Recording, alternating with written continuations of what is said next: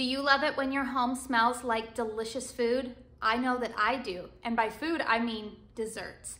Fall is the perfect time of year to get burning some of our favorite gourmand candles. So in today's video, I'm going to be talking about some of my favorite gourmand scents from Homeworx.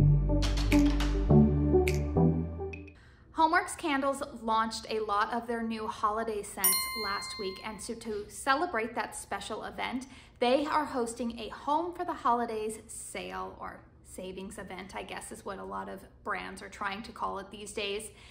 As part of that sale, they have not only a lot of their new traditionally Christmas type of scents included in that sale, meaning like tree scents and a lot of um, like holly and berry, you know, that kind of stuff going on. They have also decided to include a lot of their gourmand fragrances. So what are the details of this sale? Many of their four wick 18 ounce candles are on sale two for $44. Now, each one of those normally retail for $30, so that takes them down to about $22 a piece. Plus, you can still use a lot of influencer discount codes to save an additional 10% off over $40. In addition to that, their small three wick candles are also two for 20 right now. So because this sale has been going on for almost a week now, some things are starting to go out of stock, as can be expected. So in today's video, what I wanted to do was I took a look at the website and said, okay, let's look at the gourmand scents. I have a feeling I'm gonna get to the tree scents in another video, but let's go ahead and take a look at the gourmand scents and I wanted to rank the ones that are in stock and that I have personally smelled. Spoiler alert, you might want to be subscribed to my channel because I do have some of the new releases on their way and you better believe that I will film a haul video letting you know what my first impressions are of those. But for today, we are going to be talking about the candles that I have personally burned, personally smelled, and how do they stack up for me. So if that is something that interests you, let's get into it. Coming in at number eight, which will be to no surprise if any of you have been around since the beginning of my channel and have watched some of my candle reviews, is Strawberry Glazed Cupcake. If you love strawberry scents, you're probably going to like this one. I personally have just concluded that a lot of strawberry scents just are not for me. The scent notes on this one are sweet strawberries, vanilla cupcake, coconut cream, and whipped buttercream. Now, to be honest with you, when I ordered this candle, gosh, when did this release? Way back in February, maybe. The note that interested me the most was that little bit of coconut cream in there because I do typically like coconut scents. Um, but that one, it just was not for me. I didn't smell any kind of coconut in there. I did smell strawberry for sure. I did smell cake. But it's been a while since that candle has been in my collection, so if you want my further thoughts about it, I will have it linked in the card up above um, or in the description box down below, and you can feel free to check out a further in-depth review of that candle. All right, coming in at number seven, I feel like um, some people might come for me with this one, but please don't. Um, coming in at number seven is Praline Pecan. Now the scent notes on this one are pecan, creamy toffee, whipped vanilla, almond butter. Also, I think I just give away that I come from the West Coast because I pronounce it pecan instead of pecan. I don't know. I know that there's two schools of thoughts about how to pronounce that. I've always pronounced it pecan. Anyways, praline pecan. I ordered that one last year when it was first released. I believe I got it in a duo from QVC. And to be honest with you, it was very intense for me. Like almost sickeningly sweet for my taste. Um, I just didn't care for it. I burned one of them and I believe that I ended up selling off the other one um, or maybe giving it away. I can't remember. I just know that it did not stay in my collection for a very long time. So that one comes in at number seven for me. I do believe that if you are somebody that likes that authentic, um, like praline or nutty type of flavors, then you might like that one. But if you are somebody that does not like overly aggressively sweet scents, I would caution you to stay away from that one. Just wanted to let you know that if you hear any extra noises going on in the background today, I have my son home from school. He is on fall break. He's actually sitting right here off to the left of me because he's watching he's watching me on um, a mirror my phone to our television set so that way I, that's kind of like my viewfinder. Anyways, if you hear some extra noise and you may have also seen my cat Ruby make an appearance in the background, you're just getting to meet part of my family today. Coming in at number six is another candle that I was honestly a little bit surprised that they looped into the gourmand category, and that is Fall Farm Stand. Now the scent notes on Fall Farm Stand are sugared, sugared, what does it say? My notes here, my eyes are getting old. Sugared Honeycrisp Apple, Golden Pear, Vanilla Bean, and Wildflower Honey. Now this candle is one that I still actually have in my collection because I was burning it earlier, um, I would say back in August a little bit more, and I still have some of it left because this one, um, I had a wick fall over and I didn't catch it in time. This one was, I, I'm surprised that they call it a gourmand because to me, when I think of gourmand, I think of bakery. And I know that that's not really technically the definition of it, but in my mind, I think of a bakery note when I think of gourmand. And this one to me, there's no bakery note at all. This is very much that combination of pear, very sweet apple, definitely that honey note to it. Personally, I am a seasonal burner, so this is a candle that I enjoy usually when I am transitioning out of summer scents into fall scents. I actually did a whole video about that, and I believe that this one may have been included in it. I do like this scent, but the only reason I'm ranking it this low is because I don't believe that it is actually like a true gourmand in the sense of what I define that as. Coming in at number five is Glazed Honey Graham. Now the scent notes on this one are golden honey, rich caramel, graham cracker, and vanilla bean. And I do have this one currently in my collection. I haven't burned it a ton. This one's a little bit strange to me on, on when it burns. Um, on cold sniff, I get genuine honey made graham cracker, you know, ready to make some s'mores and make a graham cracker crust I like this one, but it's not one that I think that I will repurchase in the future. I don't know, maybe I will, but this is one that it just smells a little bit different to me when it is burning. It's actually one that I am going to uh, plan to mix with one of the pumpkin candles I have in there. I want to say it's Autumn Pumpkin. It, that's not released this year. It's one that I had carried over from last year. But I, I like this scent, but not enough to be like, wow, I have to have it for me.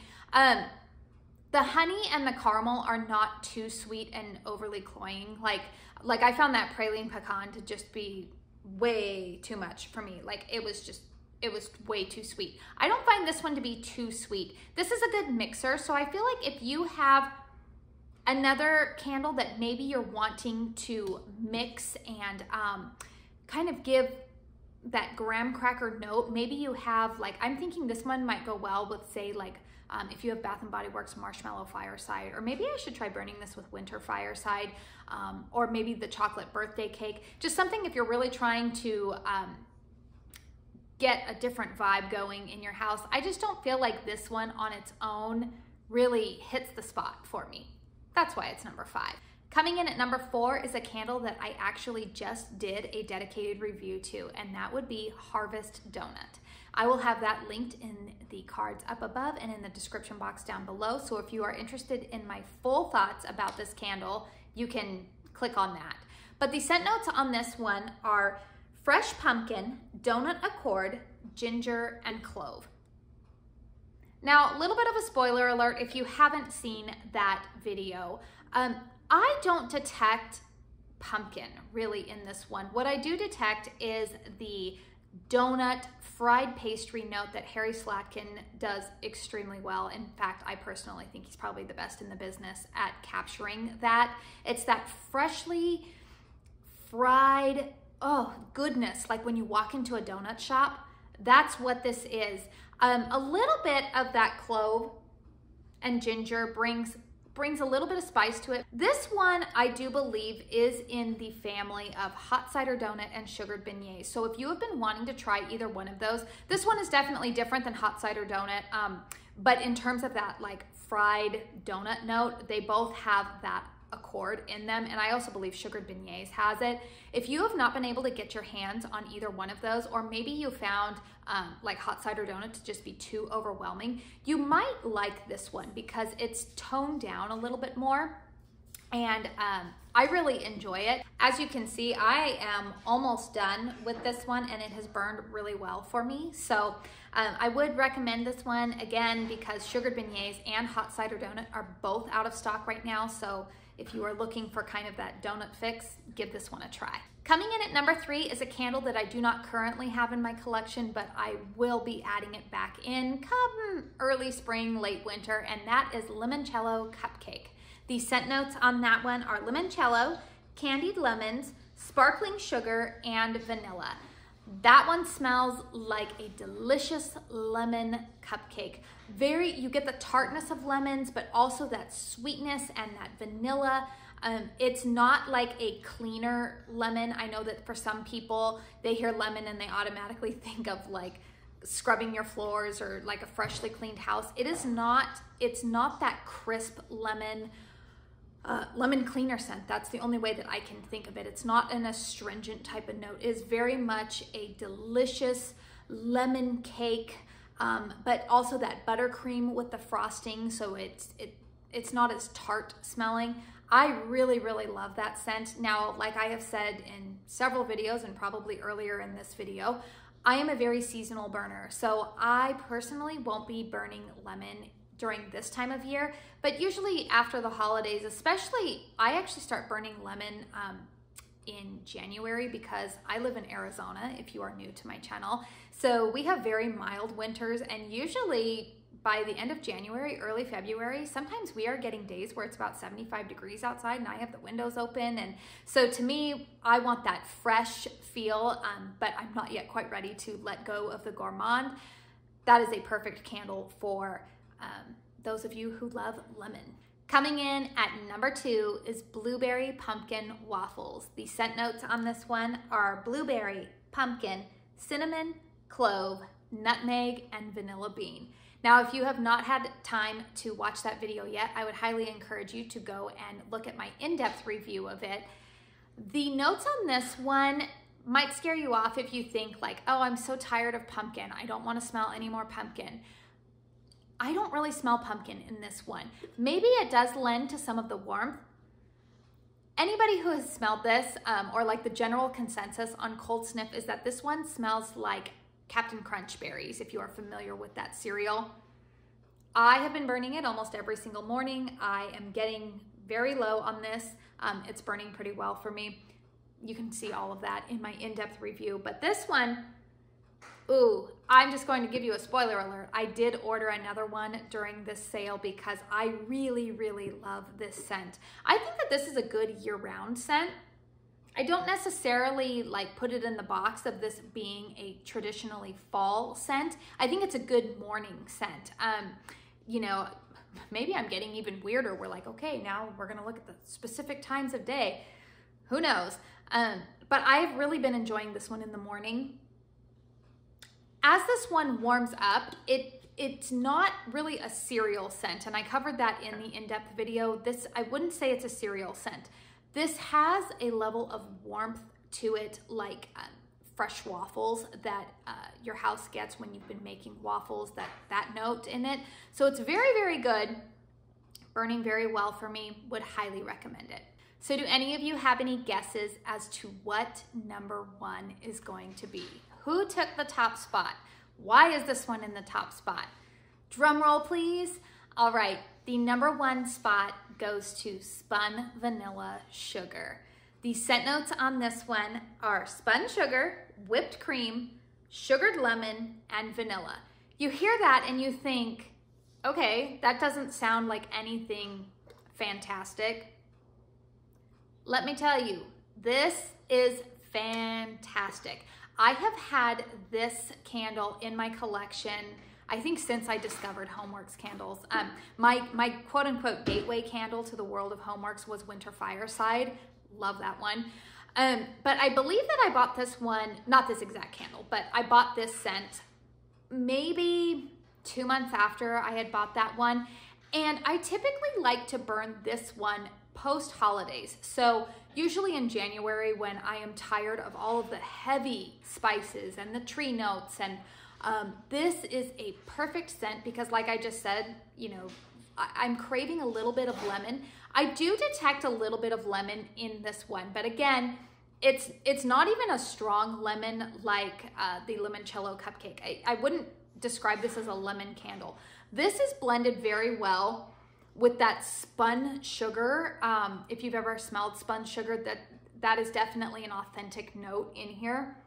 There's almost like a butteriness to the sugar. Um, there's like sugar crystals. It's kind of, I'm having a hard time explaining it, but I, I will tell you that this one is very good and it does not get overly sweet to my nose. Now I know that some people in the Homeworx group on Facebook have said that it was just too sweet for them. I personally haven't had that experience, um, but all of our noses are different. But this one I love because I don't think that this is necessarily a particular season type of candle, which really when I'm looking at quite a few of these, I mean like there's some of them I think like praline pecan would be pretty seasonal. Um, maybe, I don't know, maybe limoncello cupcake. I feel like that's, that's just me personally. Um, but this one is really good, I think, year round. Oh, I really like this one. I'm already thinking like, oh, I should light this up. But I'm like, no, no, resist. You know you like this one in January the best. This one brings a warmth to your home, a coziness, um, but it's not offensive. A lot of friends, when they have come into my home and they've smelled this one, they're like, ooh, your house smells really good right now, um, but it's not headache inducing or anything. I would highly, highly recommend this one. Um, and I believe that this is probably a very popular one because I do know that when Homeworx released those huge Luxe candles a few months ago, I got a visitor in the background there. Oh, the cat. Do you need to go? You can go through, buddy. It's okay. Just looking for the magic tape. I'm making a break fan named Toad. Okay, I can get you the tape when I'm done, okay? Okay. All right. I don't want to use the, the, the tape, the other one, because I don't want to disturb you. Okay, that's fine. A glimpse into my life. I've got to film, but I've still got to be mama. Um, but what was I saying about this one? This one, I feel like it's just a beautiful scent. Um, oh, I was gonna say when they released those huge Luxe candles a few months ago, this was one of the scent offerings. Um, I believe that those are currently still out of stock, but I've seen teasings that they might be coming back. Um, but this one is a beautiful scent. I love it. Would highly, highly recommend that you pick it up, especially if you are somebody that does not want anything that is um, overly pumpkin or you're tired of pumpkin and apple and whatnot. Pick it up. You won't regret it. If you enjoyed this video, please don't forget to hit that thumbs up button. It really helps me out as I am seeking to grow my channel. I've only been on YouTube a little bit less than a year, so you know that these opinions that I am giving you truly are my own. Nobody is paying me to say them. This is just something that I truly enjoy. I cover home fragrance, a lot of Homeworx candles here, um, but I do also dip my toe into some Kringle and I also like to share some beauty content with you. So if that sounds appealing to you, make sure you hit that subscribe button and notification bell. If you really like candle content, I just want to let you know that I do have more Homeworx candles on their way to me as I speak. They should be here next week, and I will be filming a haul on that. I've got some of the new Christmas scents that they have released. I also am planning to do maybe some um, videos around some of my favorite tree scents or maybe like woody nature scents. So again, make sure you're subscribed because you'll want to hear my thoughts on that. YouTube should be suggesting some other videos at the end of this one if you would like to stick around and watch some more. But if you don't have the time, I just want to say thank you so much for spending what time you had today with me. Until my next video, I hope you all go out and have a very blessed day. Bye.